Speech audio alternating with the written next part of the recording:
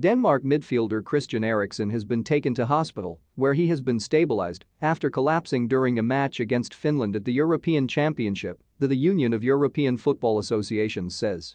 In a tweet the UEFA said a crisis meeting has taken place with both teams and match officials adding that more information will be communicated at 1.45 Eastern Time.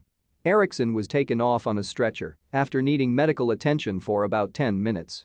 He collapsed untouched near the end of the first half and was immediately surrounded by medical personnel. Eriksen's teammates then formed a shielding wall around him. The Finland players huddled by their bench and eventually walked off the field while Eriksen was still getting treatment. Eriksen was carried off to a loud ovation